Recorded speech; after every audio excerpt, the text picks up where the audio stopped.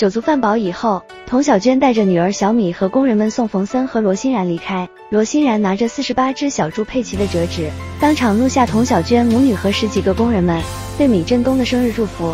工人们不但唱了生日歌，还一致表示会一直等米振东回来。回去的路上，冯森不禁对米振东强大的气场赞叹。没想到童小娟和那些工人对米振东的顶礼膜拜。他向罗欣然说起那本书，也从中知道妻子郑伟丽是怎么死的。书里有一个章节讲述了七个人做了不同的事，貌似毫无关联，最后的目的就是杀一个人。罗欣然劝他查明真相，冯森决定放弃，因为时间太长了，单凭这些根本无从考证。他庆幸的是，终于查到了妻子被害的真相。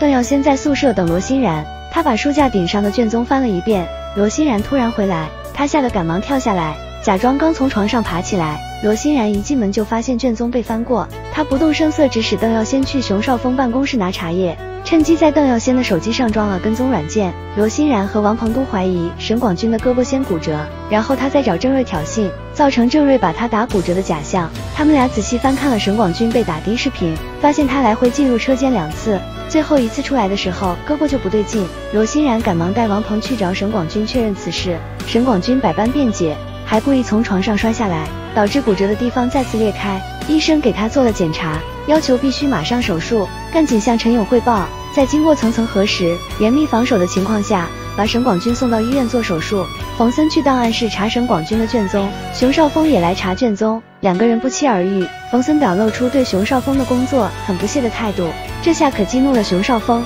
他明确表明自己不单单是一个网红检察官，也有责任心和执行力，反而埋怨冯森处处给他设绊子。不但阻止他调查沈广军的案子，就连黄四海的事也不让他插手。冯森不禁冷笑。熊少峰负气而走。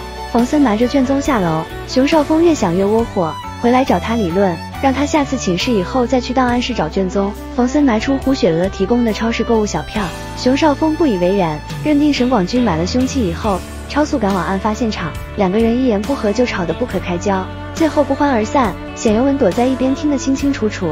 他赶忙出来劝慰熊少峰，熊少峰想向他大吐苦水，显尤文借口不想惹火上身，拒绝听他的讲述。熊少峰叫苦不迭。柴明楚看完冯森提出的建议，忍不住向陈勇大发牢骚，觉得冯森处处和他们过不去。陈勇狠狠教训了他一顿，让他认真学习冯森提交的这些中肯的建议，好好整顿一下监狱出现的歪风邪气。柴明楚被数落得哑口无言。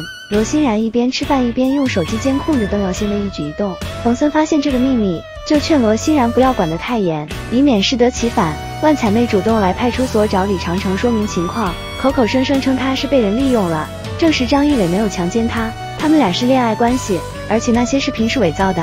李长城赶忙把郑双雪叫来，郑双雪听完他的叙述，不禁为张一伟打抱不平。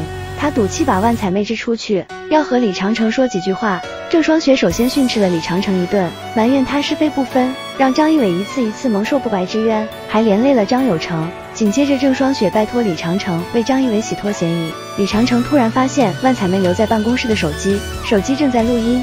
郑双雪顿时傻眼了，她终于明白了万彩妹来的目的，就是想把她和李长城说的话录音。